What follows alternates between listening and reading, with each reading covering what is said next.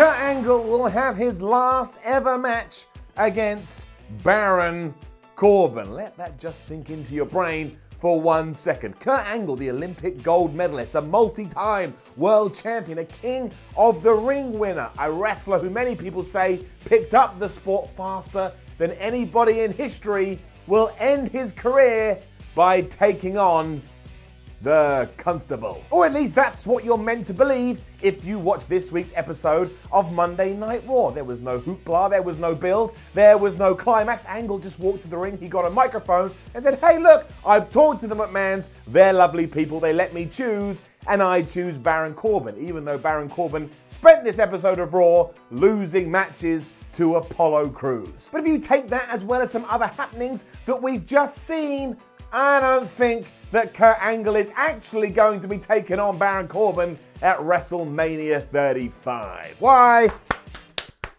National Hood Week is back. Here's why.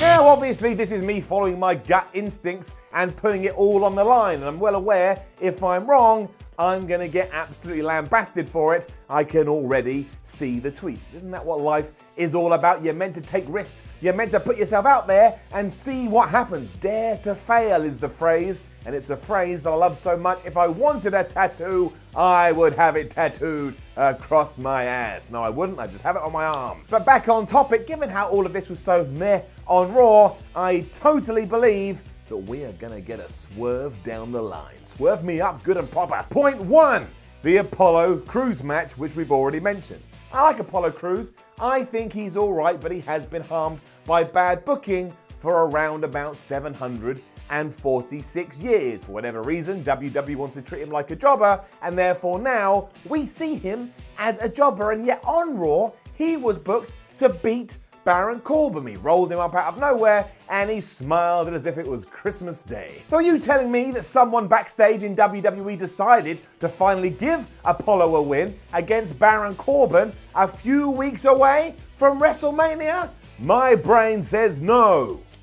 Way Jose. Because that ruins it no matter how you look at it. Let's say that Baron is going to defeat Angle at WrestleMania. That makes Kurt look like an absolute chump. He couldn't even beat the guy who lost to Apollo Crews. And if Kurt is going to win, so what? He just beat Baron Corbin, the guy who lost to Apollo Crews a few weeks ago on Raw. And I ain't crapping over Apollo Crews here. Like I say, I like him, but that's just the way he's been treated. So that's the vibes he puts out. That is so crazy, I don't think anybody in their right mind would do it. If you are going to put Baron Corbin in a proper big match at WrestleMania, you build him up throughout the weeks. You have him defeat everybody. So you start as a fan, you start thinking, well, this guy, he is a bit of a threat. I hope Kurt Angle isn't in trouble. I don't want to see Kurt Angle lose his retirement match. You don't think, wasn't it nice seeing Apollo Crews and Kurt Angle do their little dance and wiggle at the top of the stage because they were both so pleased about Apollo beating Baron Corbin?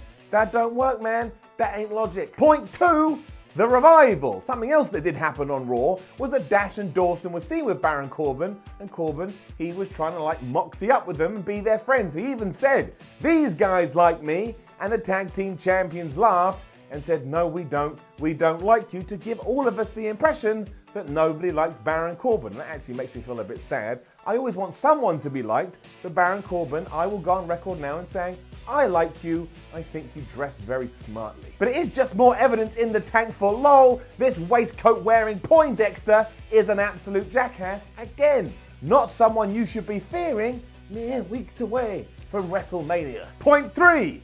The commentary. I know the announce team can be very handed with things that they are given to say. In fact, sometimes it feels a bit like they've been given a sledgehammer and they continually smash you over the head with it to the point you're like, please do kill me. I don't want to hear it anymore. I do accept this, but from the moment Angle revealed who he would be facing, Michael Cole and co. kept going on about the fact that the fans in the arena don't like it. And oh, we've been on social media and there's a backlash. And let's face it, if those dudes were going to talk about social media backlashes every time wrestling fans were upset on Twitter, that's all you get on Raw. That's all you get on SmackDown. That's all you get on pay per views. I don't like what Ronda Rousey is doing. She's breaking kayfabe. She's only been in the business for a year. She shouldn't be allowed to do this. and so on. And yeah, there's no real proof to it, but it would mean that A, WWE decided to do this anyway, even though they knew how everybody would feed back, and B, they were actively telling people watching Raw, look at our own fans poo pooing on our own product That is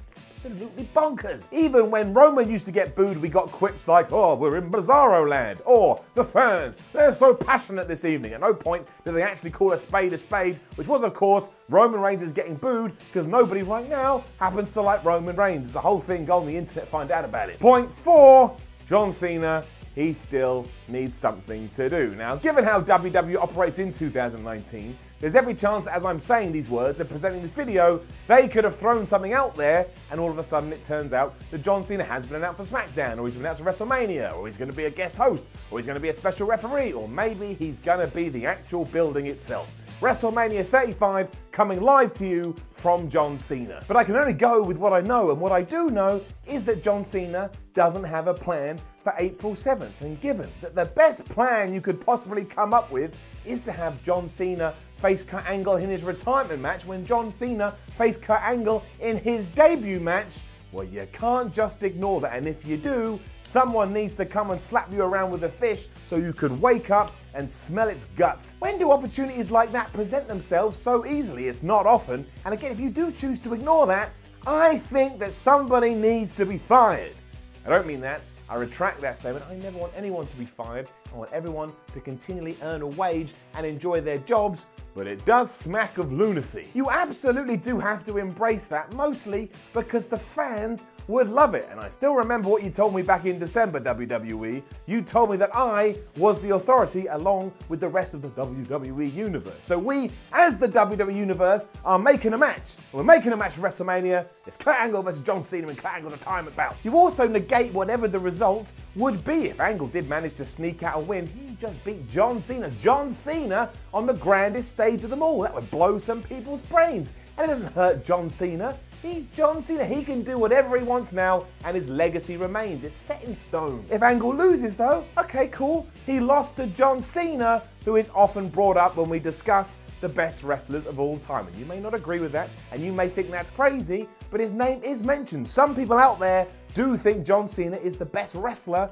they've ever seen. You've just got to deal with it. It also gives Cena the chance to get his win back. Not that that really matters. But in 2002, Angle rolled up Cena for the win, and now in 2019, we can balance all that out. Hell, Cena, you can even wear those red shorts again. They were quite fanciful. Picture the scene too. Corbin is backstage, he's all ready for his big WrestleMania match, and then from nowhere, he gets waylaid by the man that nobody can be seen, hence why he was able to sneak up and do this outrageous attack. Cena then marches to the ring and he does his whole ruthless aggression speech, and all the fans would get off on that because we remember, he did do that around about 20 years ago, and they, they can just have a fight. Doesn't matter if it's a good fight, doesn't matter if it's a bad fight, because the sheer star power in the match means you get away with it. How many times have we seen that? Go back and watch Rock vs. Hulk Hogan. Incredible match, but you turn the fans down and it's decent at best. But because it's The Rock versus Hulk Hogan, pow! It would work, and I think we know that from Raw. People in Chicago, Chicago